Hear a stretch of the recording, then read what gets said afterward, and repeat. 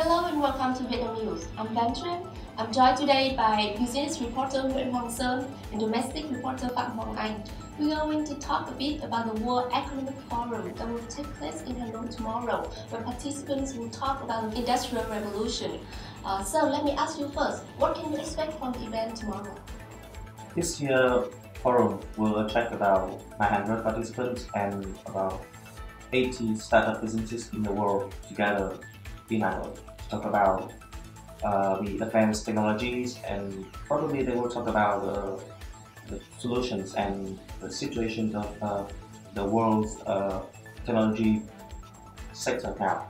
So from that they can find the solutions and uh, we can discuss how to improve the infrastructure, the background knowledge and uh, hopefully they will they can find something to improve their business performances later. Uh, what does event mean for Hanoi and uh, Vietnam as a whole? Well, it's a very important event um, for the country uh, as, as well as for the, for the region because uh, in Asia you have many emerging economies and they're moving very fast into the digital age. And um, there's a lot of opportunities, but there are also a lot of challenges. Uh, so we have all the world leading experts gathering in Hanoi and we put their heads together.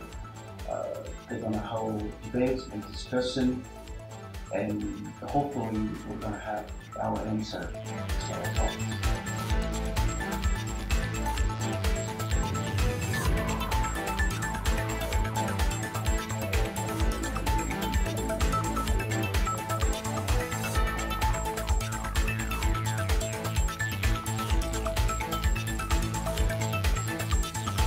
Thanks for watching. Please log on to our Facebook page for more live updates of the event Tuesday morning. Xin chào!